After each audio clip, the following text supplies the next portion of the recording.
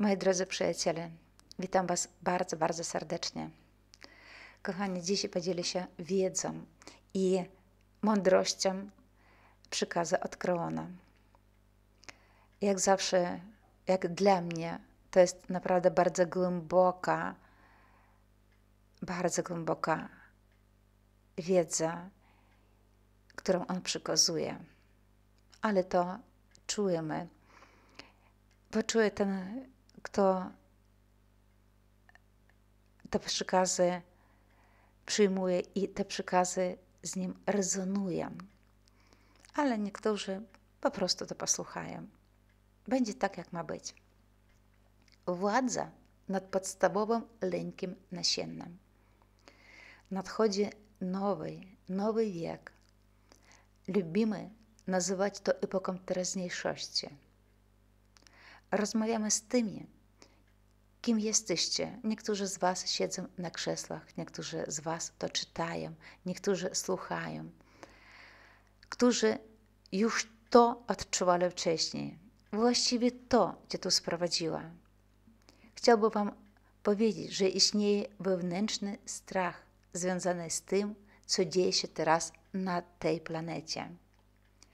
W przyszłości omawialiśmy to jako ziarno strachu, wskazując, że zostało zasadzone na samym początku.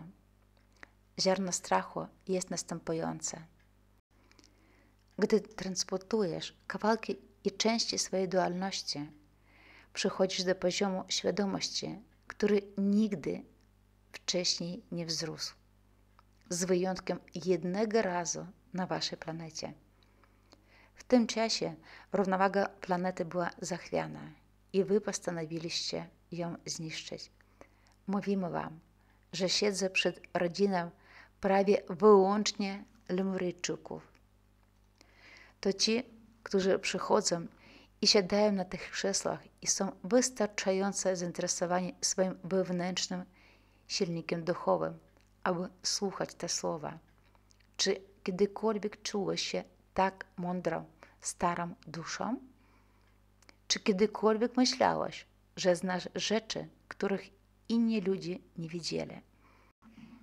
Jak możesz bać się tego, co sam i tworzysz?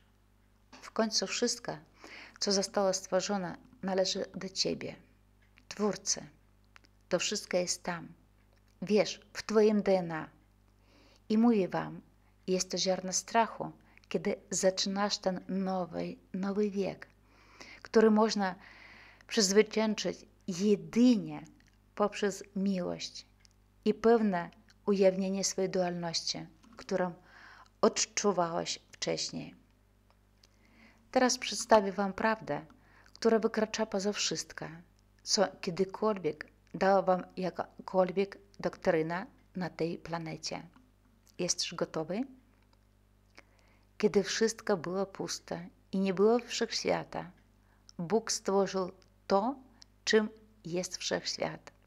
Tak więc Bóg stworzył galaktykę, wszystkie części i jaką niesamowitą ilość czasu to zajęło. Kiedy Bóg stworzył Słońce i Ziemię w sferze bytu, o której wy myślicie, chcę wam powiedzieć, że tam byliście. Wszyscy tam byliście i oglądaliście to. Widziałeś Jego wielkość, jako piękna. Widziałeś, jak ukształtowała się dla Ciebie ziemia. Widziałeś, że przyjdziesz do tego miejsca z próbą świata i ciemności. Widziałeś, przez co musisz przejść.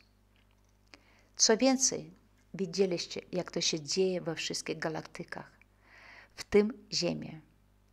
Na długo, zanim ta Ziemia była dla Was gotowa, braliście w tym udział. Wielu z Was było na innych planetach i w innych obszarach. I jak z tym się czujesz?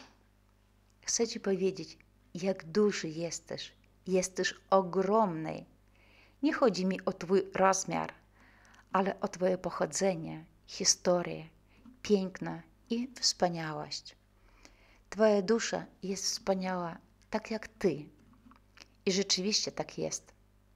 Widząc lub słysząc słowo Bóg, pomyśl o tym, kto jest obok ciebie w pracach i grach oraz o swoim własnym korzeniu prawdziwej esencji.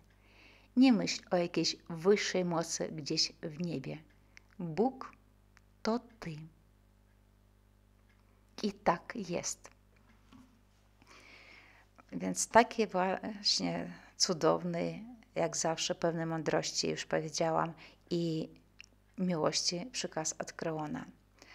A ja chcę podzielić się swoim krótkim doświadczeniem, właśnie to, co było zapisane w moim DNA. I chcę Wam powiedzieć, że tak się przerabiają wszystkie lęki.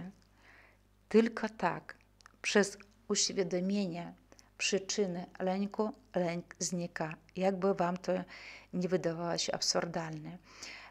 Wystarczy uświadomić, skąd pochodzi lęk i on się rozpuszcza, transformuje się w miłości. To samo, tego samego nie, nie uczę. Tym samym, tą samą wiedzą dzielę się na warsztatach. Jak już mówiłam, niektórym wydaje się, że to jest za proste, ale tak jest. Naprawdę proszę mi uwierzyć. Więc przychodzę do swojego doświadczenia, o którym chcę Wam opowiedzieć. Przez wielu, wielu lat śniła mi się woda. Ale nie tylko woda jako woda, a że to jest koniec. I ja przed tą wodą uciekałam w różnych właśnie miejscach, w których ja mieszkałam. Pojawiała się woda spod podłogi. I powiem Wam, że nawet miałam taki sen, jak zaczęłam stawiać dom. On jeszcze nie był postawiony, ale ja miałam ten sens, że spod podłogi wychodzi woda. Tam była tak czysta, czysta, czysta woda w tym domu. I to było do momentu, kiedy też to sen wizję. Miałam sen wizję, gdzie byłam w domu rodzinnym i widzę, że idzie ogromna, potężna fala. I wiedziałam, że nie ma szansy uciec. Nie ma. I nie było we mnie lęku żadnego. Ja po prostu zaczęłam się modlić. Ojcze nasz. I ja widziałam, jak ta wielometrowa, wielometrowa fala nakryła ten blok. I ja byłam w środku tej fali. I tylko się modliłam. I kiedy ta fala odeszła, ja przeżyłam. Ja przeżyłam i patrzę. Jest e, całkowita tafla na tym oceanie. I ja jestem jedna, nie ma nikogo, tylko ja, ale już nie w środku tego budynku, tylko na zewnątrz. I kiedy zapytałam, co to ma znaczyć, co mnie chcieli pokazać, co chcieliście pokazać, a mnie było wyraźnie powiedziane, że przeżyłeś potop. Ten znany z Biblii. I kiedy uświadomiłam sobie, że ja wtedy byłam, wyobrażacie sobie, ja to, to znaczy mój duch, moja dusza była obecna w tamtych czasach, to wszystkie te sny, które były związane z wodą i że to jest koniec i że ja mam uciekać, ustąpiły. Nigdy więcej już nie miałam takiego snu. Także jeszcze raz Wam powtórzę. Uświadomienie lęku, przyczyny lęku, skąd pochodzi lęk rozpuszcza się całkowicie i znika. A